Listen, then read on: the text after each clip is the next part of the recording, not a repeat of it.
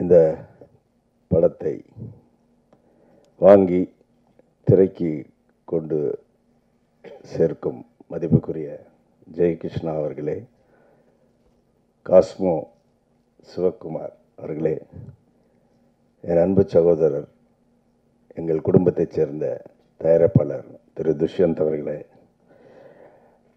இசையமைப்பாளர் இமான் அவர்களே மாரிமுத்து அண்ணன் அவர்களே யுகபாரதி அவர்களே சந்திரன் அவர்களே இளையராஜா அவர்களே கிஷோர் அவர்களே ஹரீஷ் அவர்களே மீதி ரெண்டு பேர் யாரோ இருக்காங்க? அவர்களே அவர்களே மேடையில். மற்றும் இங்கே வருகை தந்திருக்கும் பத்திரிகை நண்பர்களே தொலைக்காட்சி நண்பர்களே எங்களை எல்லாம் வாழ வைக்கும் ரசிக பெருமக்களே அனைவருக்கும் என்னுடைய முதற்கண வணக்கம். ஆயிரத்தி தொள்ளாயிரத்தி எண்பத்தி நாலு மகேந்திரன் சார் படத்தில் கை கொடுக்கும் கை என்ற படத்திலே அறிமுகமானேன். முப்பது வருடங்கள் முந்நூறுக்கும் மேற்பட்ட படங்கள் வெள்ளி விழா படங்கள் நூறு நாள் படங்கள் பட்டங்கள் எத்தனையோ பட்டங்கள் எத்தனையோ நாடுகள் எல்லாத்தையும் பார்த்துட்டு எல்லா நடிகர்களுக்கும் ஒரு இறங்கு முகம் வரும் எனக்கும் வந்தது. வந்தாலும் இந்த கலையை நான் கைவிடவில்லை. பிடிச்சிக்கிட்டே இருந்தேன். எப்படி நான் மிமிக்கிரி பண்ணுறது ஸ்டேஜில் வந்து ஷோஸ் பண்ணுறது அது பண்ணுறது பண்ணி சுற்றிக்கிட்டே இருப்பேன். அது திடீர்னு ஃபிலிம் சேம்பரில் வந்து கமிட்டி மெம்பர் நடிகர் சங்கத்திற்கு விடலை. ஏன்னா எனக்கு இந்த தொழில் தான் தெரியும். சரி தமிழ் சினிமா நம்மளை மறந்து போயிடுச்சோ? கூப்பிடாதோ? அப்படி இயங்கிக்கிட்டு இருந்த காலகட்டத்தில் என் கைபேசியில் ஒரு குரல் என்னை அழைத்தது. அது வரம். வரம் என்றால் எனக்கு மட்டும் வரம் அல்ல தமிழ் திரையுலகிற்கே வரம். அதுதான் அந்த வரம் தான் பிரபு சாலமன் அவர்கள். கூப்பிட்டார். கூப்பிட்டு கதையை சொன்னார்.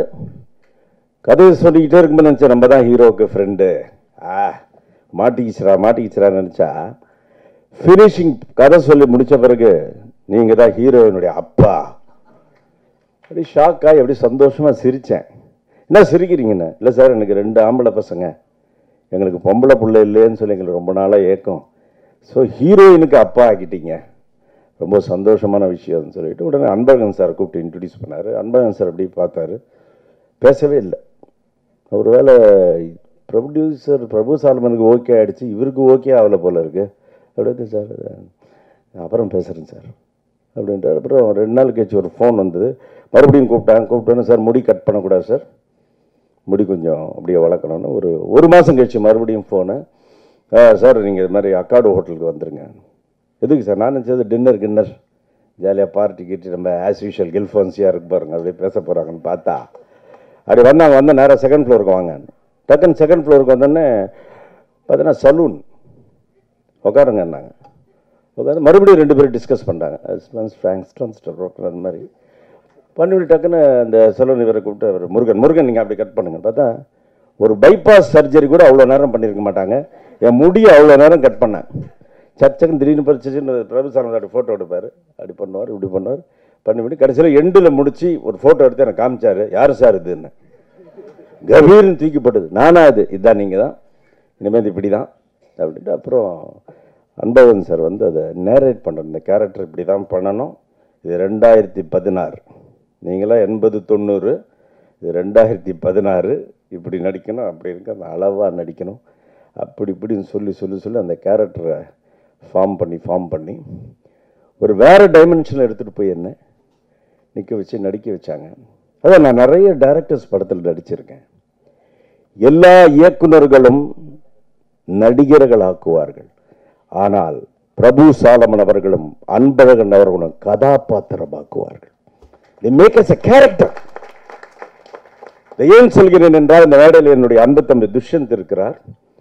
கதாபாத்திரத்திலே அந்த கதாபாத்திரத்தை வாழ்ந்த உலக நடிகர் என்னுடைய கலைக்கடவுள் நடிகர் திலகம் சிவாஜி கணேசன். கண்டிப்பாக அவர் இருந்திருந்தால் பிரபு சாலமன் இயக்கத்தில் நடித்திருப்பார். அதுக்குதான் என்னமோ தெரியல கும்கியில வந்து விக்ரம் பிரபு நடிச்சிட்டாருன்னு நினைக்கிறேன். கண்டிப்பா. ஏன்னா கதாபாத்திரம் அந்த கேரட்ல இருந்து தள்ளவே கூடாது யாரும். ஓவரா சிரிச்சா கட்டுண்டுவாங்க டக்குன்னு கட்டுண்டுவார் ஓரமாக சிரிச்சா. அதெல்லாம் பண்ண சார் இதெல்லாம் கண்ணெல்லாம் ரெப்ப ஏன் சார் தூக்குறீங்க அப்படின்னு திடீர்னு ஒரு மாதிரி கோவம் வரும் பிரபு சார். அது அன்பழகனுக்கு வந்து கோவம் எங்கே தெரியுங்களா வரும்? மூஞ்சியில் தெரியவே தெரியாது. சைடில் யாரையே பார்ப்பார் நினச்சி வந்தாலும் கோச்சிக்கிட்டான் போல இருக்குன்னு அவ்வளவு சார் அதாவது என்னென்ன dedication the core dedication the core நான் முப்பது வருஷத்தில் நிறைய படங்கள் நடிச்சிருக்கேன். இவ்வளோ டெடிகேஷன் நான் பார்த்ததில்ல அப்படியே வருவாங்க எல்லாமே. காலையில் வந்தால் நாங்கள் என்ன பண்ணோம்? மேக்கப் தான் மேக்கப் யாருக்குமே கிடையாது. மேக்கப்பே கிடையாது யாருக்குமே. அதே மாதிரி அந்த ஊர் ஜனங்க கூடயே அப்படியே பழக்கணும் அப்படியே செஞ்சு செஞ்சு இந்த படத்தை வந்து முடித்தாங்க அதாவது எனக்கு கை கொடுக்கும் கையிலே அறிமுகப்படுத்திய இயக்குனர் மகேந்திரன் எனக்கு தாய் போன்றவர். அதே மாதிரி ஒரு காலகட்டத்தில் எனக்கு இறங்குமுகம் வந்து மற்றும் இப்போ வந்து இந்த ரூபா என்ற ஒரு ஏற்றுமுக படத்தை கொடுத்த பிரபு சாரவன் அவர்களை நான் என் தந்தையாக கருதுகிறேன். ஏன்னா இந்த படம் ஓடணும் சார். ஓடனா என்ன தெரியுங்களா? இண்டஸ்ட்ரி நல்லா இருக்கும் இண்டஸ்ட்ரி கண்டிப்பாக நல்லா இருக்கும் அதாவது டிஸ்ட்ரிபியூட்டர்ஸ் எக்ஸிபியூட்டர்ஸ்க்கெலாம் வந்து ஒரு ப்ராஃபிட் கிடைக்கும். என்னை போன்ற கலைஞர்களும் இந்த இளைய தலைமுறை கலைஞர்களுக்கெல்லாம் வந்து கண்டிப்பாக நிறைய வாய்ப்புகள் கிடைக்கும். ஏன்னா அவ்வளோ ரியலிஸ்டிக்காக படம் எடுத்திருக்கேன் இந்த படத்தில் நடித்தார் சந்திரன். சந்திரன் பார்க்கும்போது எனக்கு அப்படியே கார்த்திக் ஞாபகம் தான் வந்தது. ஒரு கை தட்டுனீங்க. நவரச நாயகன் கார்த்திக் இடத்திற்கு சந்திரன் போவார். அதே மாதிரி ஹரிஷ். ஹரிஷ் ஆக்டிங் பார்க்கும்போது அப்படியே ஃபர்ஸ்ட் நான் பார்க்கும்போது அப்படியே எப்படி ரஜினி சார் ஆரம்பத்தில் வில்லன் சத்யராஜ் சார் ஆரம்பத்தில் வில்லன் அப்புறம் ஒரு ஹீரோ அந்த ரேஞ்ச் ஹரிஷ். அதுக்கப்புறம் ஒரு வித்தியாசமான ஒரு கதாபாத்திரத்துக்கு ஒரு ஆளே கிடையாது. கண்டிப்பாக அந்த ஹீரோ கிஷோர். கண்டிப்பாக. அதே மாதிரி இளையராஜா எக்ஸலன்ட் ஃபோட்டோகிராஃபி எங்கள் டிஎஃப்டி அப்புறம் இந்த படத்தில் ரீ ரெக்கார்டிங் பார்த்தேன். அசந்துட்டேன் நான். என்ன பார்த்தீங்கன்னா இந்த இந்த கதைக்கு இப்படி ஒரு ரீ கிடைங்க அதுக்கு நான் உதாரணமே நான் சொன்னேன்.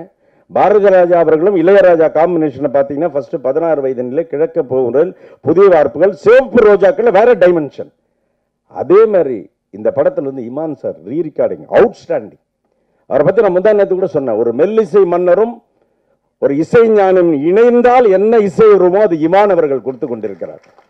அந்த ஐயோ ஆனந்தமே சாங்லாம் வந்து அவுட்ஸ்டாண்டிங் நான் ஃபஸ்ட்டு கேட்ட உடனே அசந்த் அவர்கிட்ட நம்ம சொல்லியிருக்கேன் அந்த சாங்கில் நான் மிமிக்ரிலாம் பண்ணியிருக்கேன். அந்த அளவுக்கு ஒரு இசை அதே மாதிரி ஆர்ட் டைரக்ஷன் ஃபுல் யூனிட்டே வந்து ரொம்ப பிரமாதமாக ரொம்ப ரொம்ப அழகான ஒரு படம். கண்டிப்பாக இந்த படம் வந்து மிகப்பெரிய வெற்றி அடையும். அவர் சொன்னார் நீங்கள் பேசுவீங்க பேசி முடிக்கும்போது ஒருத்தர் மாதிரி நீங்கள் பேசி ஆகணும் அப்படின்னார். ரெண்டு நாளைக்கு முன்னாடி ஃபோன் பண்ணார். என்ன சார்னு கேட்டேன் இல்லை இல்லை நீங்கள் எப்போவுமே வந்து பேசும்போது எண்டில் வந்து சூப்பர் ஸ்டார் மாதிரி பேசுவீங்க. கண்டிப்பாக இந்த நிகழ்ச்சி நீங்கள் சூப்பர் ஸ்டார் மாதிரி பேசி ஆகணும்னு. இந்த நிகழ்ச்சியில் சூப்பர் ஸ்டார் பேசியிருந்தா எப்படி தெரியுங்களா இருக்கும் எல்லாருக்கும் வணக்கம். கணவன் சொல்கிறேன் கணவன் சொல்கிற சூரியனுக்கு இன்னொரு பேர் பகலவன். சூரியனுக்கு இன்னொரு பேர் பகலவன் சூப்பர் மனசுன்னு சொன்னா நம்ம பிரபு சாலமன். அன்புனா இனிக்கும் அழகுனா பிடிக்கும் அன்பழகன்னா அனல் பறக்கும். கண்ணா வான்னு சொன்னா கமான் ஏன்னா இங்கிலீஷ்ல வான்னு சொன்னா கமான் மனசை வலை போட்டு இழுத்த அதுதான் இம்மான் ஏன்னா முடிவா ஒன்று சொல்றேன். பார்க்க வேண்டிய இடம்னா துபாய். பார்க்க வேண்டிய இடம்னா துபாய். பார்க்க வேண்டிய படம்னா ரூபாய். இப்படிதான் கண்டிப்பா எங்க அண்ணன் பேசுவார். கண்டிப்பா இன்னொரு விஷயம் நான் சொல்றேன். நான் மத்தியானம் கூட அப்படியே திங்க் பண்ணிகிட்டே இருந்தேன். எந்திரனுக்கு பிறகு அன்பண்ணன் ரஜினிகாந்த் கிட்ட நான் சொல்ல போகிறேன் அவரை டைமென்ஷன் மாற்றணும்னா இயக்குனர் பிரபு சாலமன் இயக்கத்தில் சூப்பர் ஸ்டார் அவர்கள் நடிக்க வேண்டும். ஏன்னா அவருக்கு அப்படி பிடிக்கும். அந்த ரியல் ஃபீலிங்லாம் பார்த்தீங்கன்னா ஒரு முள்ளும் மலரும் ஒரு ஆறுலேருந்து அறுபது வரை அவர் இது வரைக்கும் வந்து பண்ணதில்லை ரொம்ப கேப் இருந்தது. இப்போ கவலையில் ஒரு மாதிரி பண்ணார். கண்டிப்பாக ஒரு வித்தியாசமான படம். இவர் சூப்பர் ஸ்டாரை வச்சு எடுக்கணும். அதெல்லாம் நாங்கள்லாம் பார்த்து ரசிக்கணும்னு ஆசைப்பட்றோம். ஏன்னா நாங்களாம் ரசிகனாக தான் இருக்கோம் அண்ணன் அவர்களுக்கு. இந்த அருமையான இந்த விழாவுக்கு நீங்களாம் வந்திருக்கீங்க. மீண்டும் பத்திரிகையாளர்களுக்கும் தொலைக்காட்சி நண்பர்களுக்கும் என்னுடைய இரு கரங்களை கூப்பிட்டு கேட்டுக்கொள்கிறேன். இந்த படத்தை நீங்கள் ப்ரமோட் பண்ணோம் அதே மாதிரி தியேட்டர்ஸ் இந்த படத்தை வந்து நல்லா வந்து ஊக்குவித்து இந்த படத்தை வந்து ரன் பண்ணோம் அடுத்த விழா இந்த படத்துக்கு நிறைய ரூபா வந்து வெற்றி விழாவாக இருக்கும். அந்த வெற்றி விழாவிலே உங்களை சந்திருக்கிறேன் நன்றி நன்றி வணக்கம்.